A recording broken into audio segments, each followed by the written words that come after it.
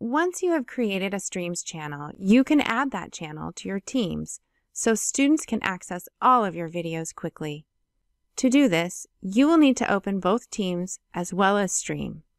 Within Teams, select the first class team you want to add the Stream channel to. Within your class team, select the plus sign to add a new tab.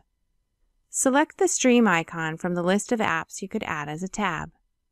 In the dialog box that pops up, the first box asks you to paste the URL for your Stream channel into the box. To get the URL link, go to Stream and select the ellipses, or three dots, in the bottom right-hand corner of your channel tile. Then select Share and Copy, and then close the dialog box. Go back to your team and insert the URL into the box. You will then see the name of your channel below the box. Select the name and then select Save. Your channel will now be a new tab in your team for students to access quickly. They will see all of the videos you upload to the channel in this tab. If you teach more than one block, you will want to repeat the process for your other classes.